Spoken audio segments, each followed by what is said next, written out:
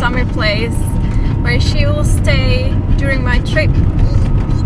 We're almost there, as you can probably hear from the doggo noises. She knows we are really close. Um, so yeah, it's like just a few kilometers left. And this is kind of starting the trip because of all the preparations I need to do. This is the first proper preparation I'm doing now. Um, yeah.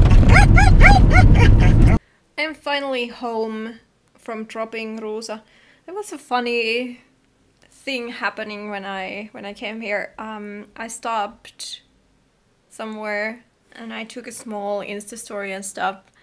And then when I was like supposed to go home, I they had changed the intersection. So when I just drove straight, I just I, I went to the opposite direction from home. And yeah there was like a tiny intersection before that that was like my way. Then i was like i was already like kind of past it. I was like crap.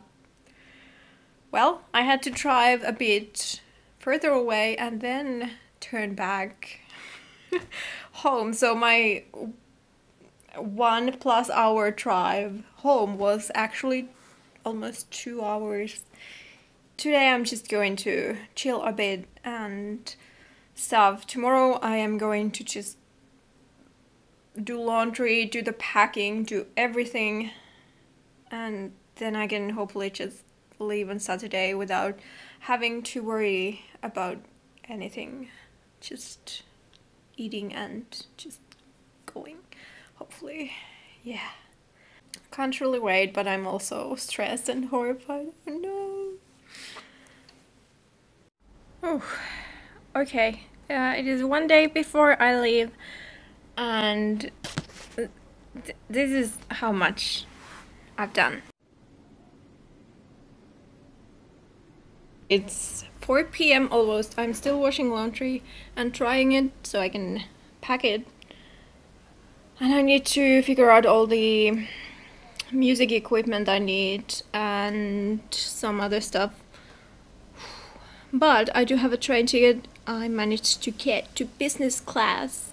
It was only 6 euros more expensive than my normal ticket and it, they, they have like introvert seats where there's like one seat next to window and there's no other seat next to it so basically it's just like the walking thingy next to it walking thingy corridor is it called corridor in trains I don't know. Anyways, and they have free coffee, so yay! Maybe I'll wake up.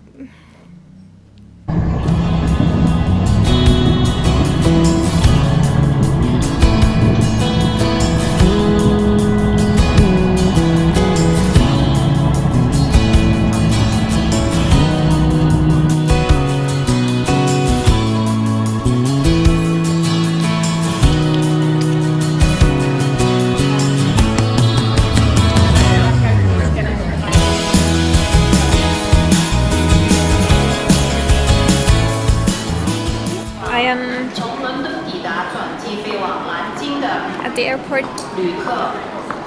15 minutes to boarding. It is really crowded here. It's like the end of vacations I guess.